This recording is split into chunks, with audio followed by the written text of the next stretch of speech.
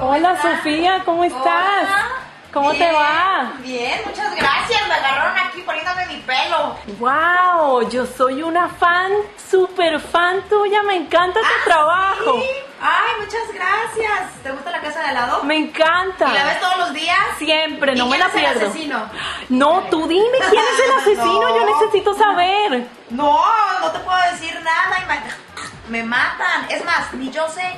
Cuéntame de tu personaje, de Hilda. Ay, pues estoy feliz con Hilda porque es un personaje que ha tenido muchas transiciones, entonces es un personaje que me ha hecho pues demostrar muchas facetas como actriz, entonces le tengo mucho cariño además a Hilda porque porque por primera vez pude hacer algo completamente diferente a lo que yo siempre había hecho, que era pues la típica niña rica, ¿no? Por primera vez tuve la oportunidad de ser una niña humilde, sencilla, pero además que es fuerte y que es luchona y que es pelonera y que no se deja por nada del mundo.